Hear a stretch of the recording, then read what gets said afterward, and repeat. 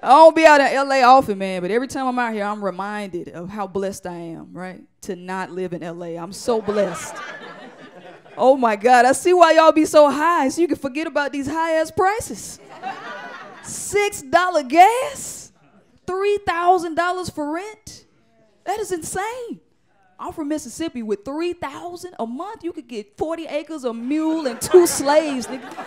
Two slaves for 3000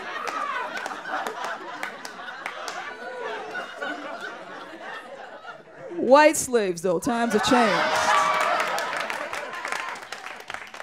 Times have changed. They call themselves allies now. I don't know why they.